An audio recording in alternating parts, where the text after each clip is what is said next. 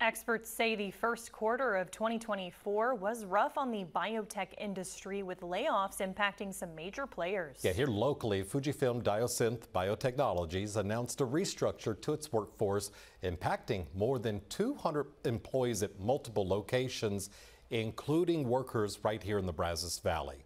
Donnie Tuggle has the latest on the local impacts and national trends. Today, I tried to get in touch with Fujifilm for more details, but they didn't respond.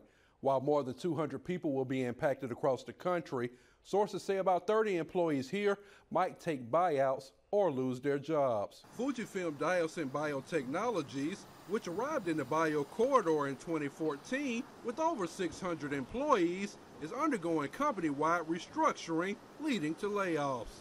In 2022, the company announced the expansion of a 138,000 square foot facility in College Station and said at the time it will bring in 150 new jobs by January next year.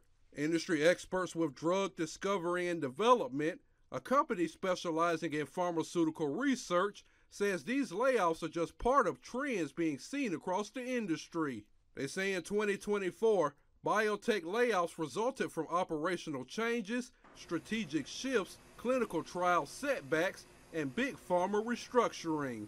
Companies trim staff for efficiency, refocused efforts, or downsized to optimize spending, with California and Massachusetts seeing the most job cuts. Fujifilm has interlocal economic development agreements with Bryan, College Station, and Brazos County but the impact of these layouts on these agreements is unclear.